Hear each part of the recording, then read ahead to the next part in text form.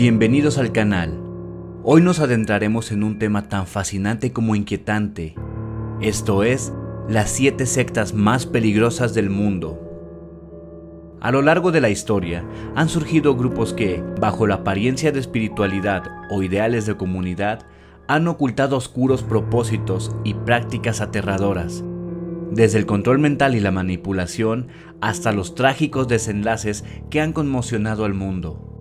Estas sectas han dejado una huella indeleble en la sociedad. Prepárate para descubrir historias impactantes, conocer a sus líderes carismáticos y entender cómo lograron captar y dominar a sus seguidores. Si alguna vez te has preguntado qué hay detrás de estas organizaciones, este video es para ti. Comencemos. Número 7. Nuestra primera secta es el Templo del Pueblo. Liderada por el carismático pero peligroso Jim Jones, esta secta se hizo tristemente famosa por el trágico evento en Jonestown, Guyana en 1978. Jim Jones fundó el Templo del Pueblo en los años 50, predicando un mensaje de igualdad racial y justicia social. A medida que ganaba seguidores, su control sobre ellos se volvió cada vez más autoritario. En 1977, Jones y sus seguidores se trasladaron a Guyana para establecer una comunidad agrícola que llamaron Jonestown. Sin embargo, lo que debía ser un paraíso se convirtió en una prisión. Los miembros eran sometidos a trabajo forzado, vigilancia constante y castigos severos. El 18 de noviembre de 1978, tras la visita de un congresista estadounidense que investigaba denuncias de abusos, Jones convenció a sus seguidores de que bebieran una mezcla letal de cianuro, en un acto que llamó Revolución Suicida. Más de 900 personas, incluidos niños, murieron. Este evento sigue siendo uno de los suicidios masivos más grandes de la historia. Número 6. En este puesto se queda Aum Chirinkyo, fundada por Shoko Asahara en Japón en 1984. Esta secta comenzó como un grupo espiritual que combinaba enseñanzas budistas e hindúes, pero rápidamente se convirtió en una organización violenta y apocalíptica. Asahara proclamaba ser Cristo y Cordero de Dios, incluso predicaba que el mundo terminaría en una guerra nuclear. En 1995, Aum Shirinkyo llevó a cabo un ataque terrorista en el metro de Tokio utilizando gas sarin, un agente nervioso mortal. Este ataque causó la muerte de 13 personas y dejó a más de mil heridas. Las investigaciones revelaron que la secta había estado experimentando con armas químicas y biológicas y tenía planes para futuros ataques. Asahara y varios de sus líderes fueron arrestados y condenados, pero el daño ya estaba más que hecho, dejando un legado de terror y desconfianza en Japón. Número 5 En este peldaño se queda la familia Manson. Liderada por Charles Manson, es conocida por los horribles asesinatos que cometieron en 1969 Manson, un criminal y músico frustrado, convenció a un grupo de jóvenes, en su mayoría mujeres, de que era la encarnación de Cristo y Satanás y debían seguirlo. Los crímenes más notorios de la familia Manson fueron los asesinatos de la actriz Sharon Tate, que estaba embarazada de 8 meses, y otras 6 personas en dos noches consecutivas. Manson creía que estos asesinatos iniciarían una guerra racial apocalíptica que él llamó Helter Skelter. Los criminales de la familia Manson estremecieron a Estados Unidos y llevaron a Manson y varios de sus seguidores a prisión de por vida, donde muchos de ellos permanecen hasta el día de hoy. Número 4 En este peldaño nos encontramos con Heaven's Gate.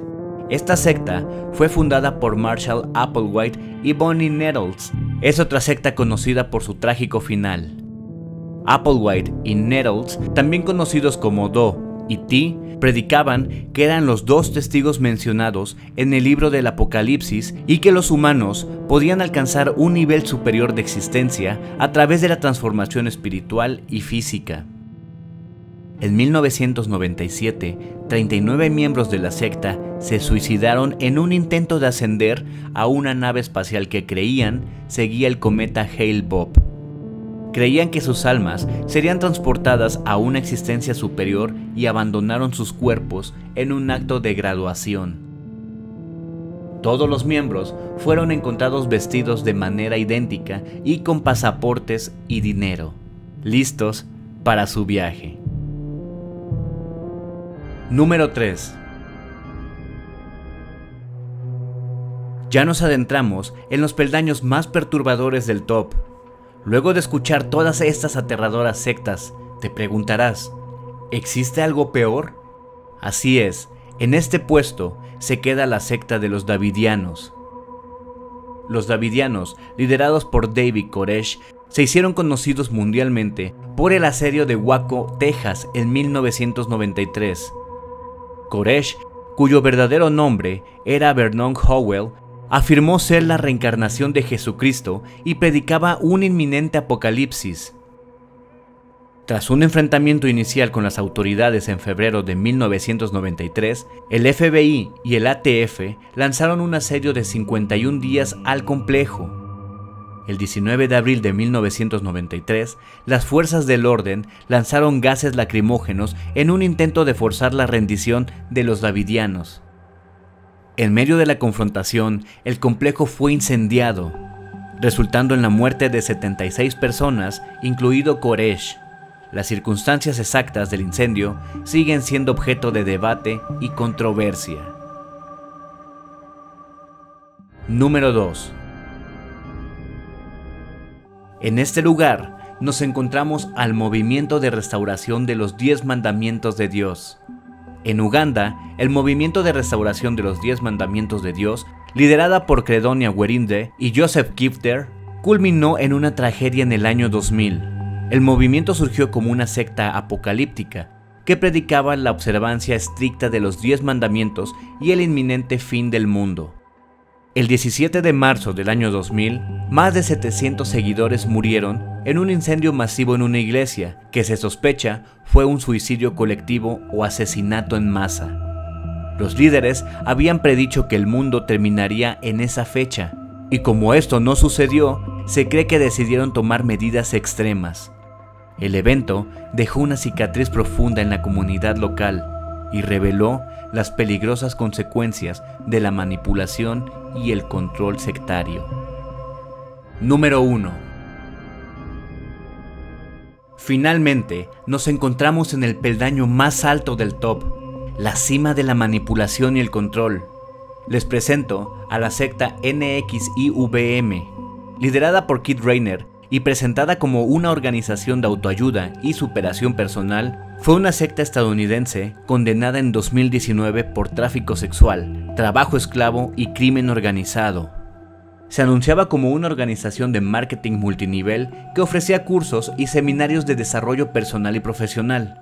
Su sede se encontraba en el condado de Albany, en el estado de Nueva York. Algunos medios de comunicación y antiguos miembros la califican de secta a raíz de una investigación judicial que supuso la detención de su líder Keith Rayner en marzo de 2018. El sistema de formación de NXIVM se administra a través de sus programas de éxito ejecutivo. La formación se basaba en una técnica llamada investigación racional, que facilitaba el desarrollo personal y profesional. Durante los seminarios, los estudiantes se referían a Keith Rayner y a la presidenta Nancy Salzman como vanguardia y prefecto respectivamente. Esta secta resultó estar involucrada en tráfico sexual, extorsión y abuso psicológico. Rainer creó un grupo secreto dentro de la misma secta llamado DOS, donde las mujeres eran marcadas con sus iniciales y sometidas a abuso físico y psicológico. Con la ayuda de figuras prominentes como la actriz Alison Mack, Rainer manipulaba y controlaba a sus seguidores, bajo la promesa de alcanzar el éxito y la iluminación. En 2018, Rainer y varios de sus colaboradores fueron arrestados y condenados, revelando los oscuros secretos de esta organización. Entre sus clientes famosos están la actriz Linda Evans, el empresario Richard Branson, la familia Caffritz, según la revista Forbes. 3.700 personas han formado parte de su programa de éxito ejecutivo desde 2003, incluyendo a Sheila Johnson, cofundadora de BET, Antonia Novello, ex cirujano general de los Estados Unidos, y Stephen Cooper. Y así llegamos al fin de este top, donde nos hemos dado cuenta que las sectas han dejado una huella imborrable en la historia, mostrando cómo la manipulación y el control pueden llevar a la tragedia. Si te gustó este video, no olvides darle like, suscríbete al canal si es la primera vez que ves uno de mis videos y activa la campanita para no perderte ninguno de los próximos videos. Esto es Historias del Mal y que tengan dulces pesadillas.